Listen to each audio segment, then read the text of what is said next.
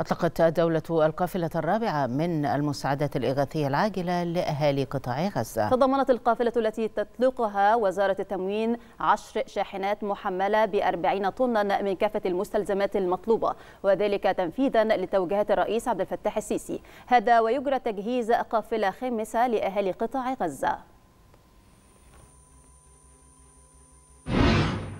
تنفيذا للاتفاقية الموقعة بين جمهورية مصر العربية وهيئة الاغاثه الكاثوليكية والممثلة في اللجنة العامة للمساعدات الأجنبية وزاره التموين والتجارة الداخلية تم التنسيق مع هيئة الاغاثه الكاثوليكية مكتب مصر بشأن تقديم كافة المساعدات المطلوبة وعلى أثر ذلك ونتيجة للتنسيقات التي تمت بين اللجنة وهيئة الاغاثه إحنا اليوم بصدد إرسال القافلة الرابعة من مساعدات الإغاثة العاجلة عبارة عن 10 شاحنات محملة بكافة المستلزمات المطلوبة من القطاع بواقع 40 طن مساعدات بتتمثل في عدد 4000 غطاء مشمع بلاستيك للحفاظ على خيام من الأمطار.